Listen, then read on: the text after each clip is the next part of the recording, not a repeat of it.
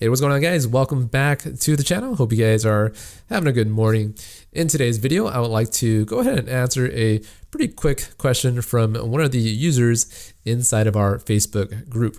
So his name is Alex Bisk, and his question is, should I stick with Objective-C or move with the herd to Swift? Now, I get this question quite a bit in the comments section for each one of my videos, as well as during the Sunday live streams. And I, I think I get this question from people that already know how to build out applications using Objective-C. They know it pretty well, and they're probably curious and wondering if they should just move on to Swift because it's such a new and modern language. Now, this question itself, I remember it was asked a lot more frequently when Swift was just introduced into the iOS development ecosystem. And in the beginning, there was a bit of hesitation from a lot of developers uh, wondering whether or not they should adapt this new technology because it was just so new and no one really know whether or not Apple was going to fully support it later down the road. And uh, for example, when I was at the company called Touch of Modern, the first version of the application was actually written all in Objective-C.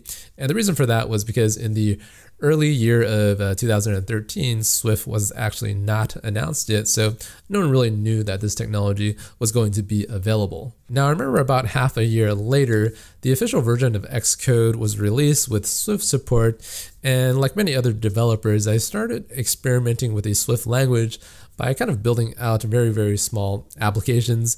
And a few reasons why I do this is because I like to test out how easy it is to actually type out the Swift syntax and see if it's easy to use. And secondly, I kind of like to see how the Swift documentation is written and also presented in the Xcode IDE. And for the most part, it's documented pretty well and it's very similar to the way Objective-C is presented.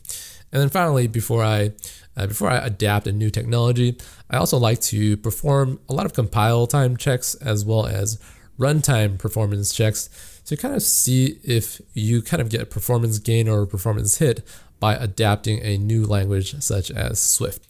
So roughly after experimenting during the span of about two to three weeks, everything looked pretty smooth and I decided to migrate all of the Touch of Modern code from Objective-C to Swift and the entire process went pretty smooth and seamlessly uh, using this thing called a bridging header that allows you to access your Objective-C code in Swift. And then finally, when I left the company about a year and a half later, I remember about 80% of the entire iOS repository for Touch of Modern was actually already converted into Swift code, so there was only about 20% Objective-C code left in the entire code base. All right, so back to the main topic, and the question is, should you just learn Swift and kind of leave Objective-C behind?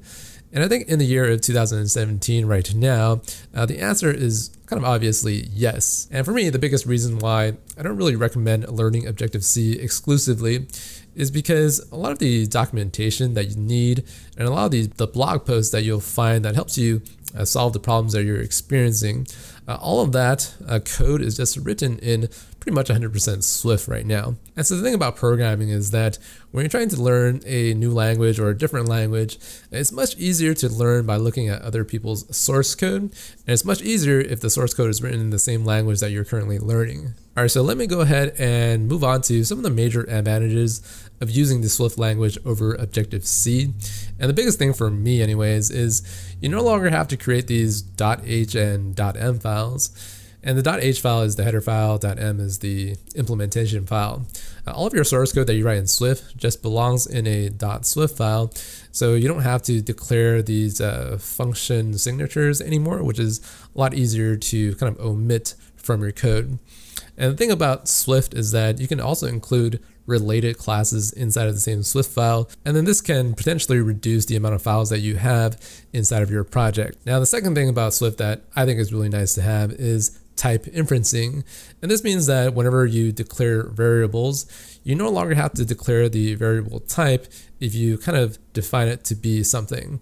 Uh, the IDE and the language itself will pretty much infer what that type is. And this means that you don't have to uh, type so much anymore. And then finally, you have this thing called optionals that's supported in Swift. And this means that uh, you no longer run into these strange use cases where you're passing uh, messages and you're trying to invoke methods on null objects.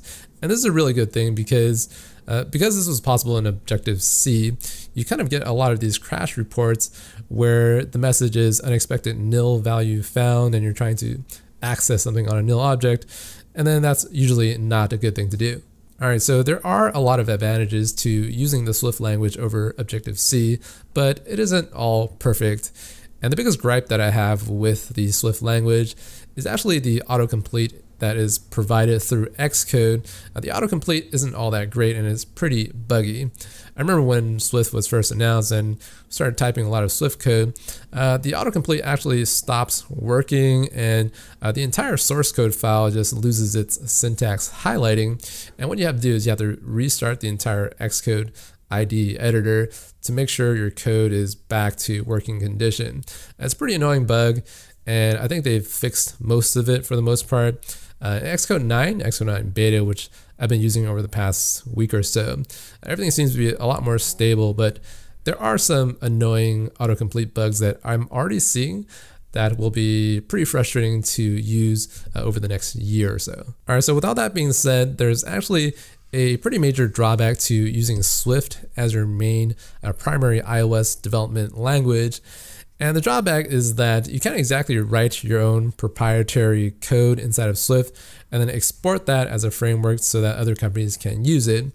For example, if you have some kind of proprietary software that does image processing or has some kind of secret encryption technique algorithm to it, you can't exactly make that software closed source inside of Swift. And the only way to write your code so that you don't have to expose it to the public is to first write it in Objective-C and then export it as a separate framework. Now it is currently the summer of 2017, so I'm not sure exactly when Apple is going to announce support for kind of writing proprietary Swift frameworks. All right, so that's going to be it for today's video. I know a lot of you guys probably have your own separate opinions on the matter, so uh, make sure to leave that in the comments down below. If you enjoyed today's video, don't forget to leave a thumbs up and also subscribe to the channel if you haven't done so already. Thank you so much for watching, and I'll see you in the next video. Bye-bye, guys.